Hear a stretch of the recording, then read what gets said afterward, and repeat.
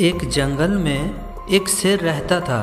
वो जंगल का राजा था और बड़ा बलशाली था। सारे जानवर भय के कारण उसका गुणगान किया करते थे। उसी जंगल में एक बुद्धिमान बंदर रहता था। वो शेर से नहीं डरता था और उसका गुणगान भी नहीं करता था। शेर को यह बात बहुत बुरी लगती थी।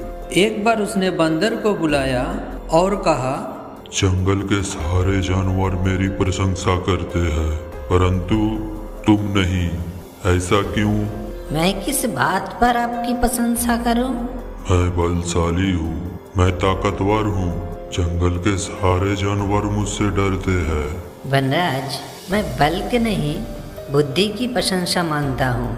इसीलिए बल के कारण मैं आपका गुणगान नहीं करूँगा। ये बात शेर को बुरी लगी और दोनों में विवाद हो गया। विवाद का विषय था, बुद्धि बड़ा है या बल?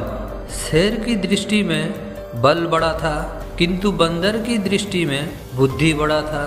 दोनों ने अपने अपने तर्क पर अड़ गए और अपनी कही हुई बात सही है साबित करने लग गए। बंदर बोला, शेर महाराज, बुद्धि ही श्रेष्ठ है। बुद्धि से संसार का हर कार्य किया जाता है। चाहे वो कितना ही कठिन कार्य क्यों ना हो बुद्धि से हर समय का निधन संभव है। चाहे वो कितनी ही कठिन क्यों ना हो मैं बुद्धिमान हूँ और अपनी बुद्धि का प्रयोग करके किसी भी मुसीबत से आसानी से निकल सकता हूँ। कृपया ये बात मान लीजिए। बंदर का बात सुनकर शेर भड़क गया और बोला कर बंदर तू बल और बुद्धि की तुलना कर सकता है। बुद्धि श्रेष्ठ है, बल के आगे। बल के आगे किसी का ज़ोर नहीं चलता। मैं बलवान हूँ, और तेरी बुद्धि मेरे बल के सामने कुछ भी नहीं। मैं चाहूँ तो अपने बल का इसी वक्त प्रयोग करके तुझे मार सकता हूँ। बंदर कुछ देर शांत रहा और बोला, महाराज, मैं अभी तो जा रहा हूँ, किंतु मेरा यही मानना है कि बुद्धि बल से श्रेष्ठ है। एक दिन मैं आपको ये साबित करके रहूँगा। मैं अपनी बुद्धि से बल को ज़रूर हराऊँगा। शेर ने कहा मैं उस दिन की प्रतीक्षा करूँगा जब तुम ऐसा कर दिखाओगे। उस दिन मैं अवश्य तुम्हारे इस बात को स्वीकार करूँगा कि बुद्धि बल से श्रेष्ठ है। किंतु तब तक कतई नहीं। उस दिन के बाद से कई और दिन बीत गए। शेर और बंदर की आमना सामना नहीं हुआ। एक दिन शेर जंगल में शिकार कर अपनी गुफा की ओर लौट रहा था।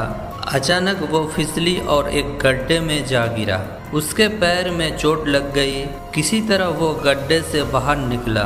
बाहर निकलते ही देखा, एक शिकारी उसके सामने बंदूक ताने खड़े हैं और घायल था शेर। ऐसी अवस्था में वो शिकारी का सामना करने में असमर्थ था। तभी अचानक कहीं से शिकारी पर पत्थर के बारिश होने लगे। शिकारी हड़बड़ा गया। इसके पहले कि वो कुछ समझ पाता, एक पत्थर उसके सिर पर आकर पड़ा। वो दर्द से तिलमिला उठा और अपना प्राण बचाने के लिए वहाँ से भाग गया। शेर भी हैरान था कि शिकारी पर पत्थरों से हमला किसने किया।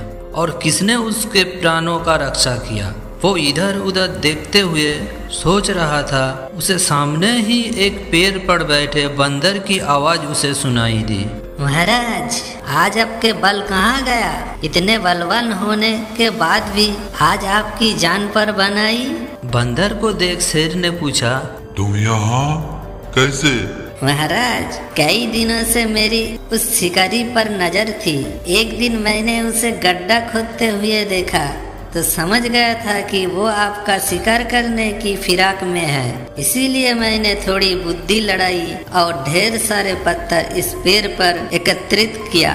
ताकि आवश्यकता पड़ने पर इनका प्रयोग शिकारी के विरुद्ध कर सकूँ। बंदर ने शेर की प्राणों की रक्षा की थी। शेर ने बंदर को धन्यवाद दिया और शेर और बंदर के बीच हुई झगड़े को भी खत्म कर दिया। शेर ने कहा बंदर भाई आज तुमने साबित कर दिया कि बुद्धि बल से श्रेष्ठ होती है।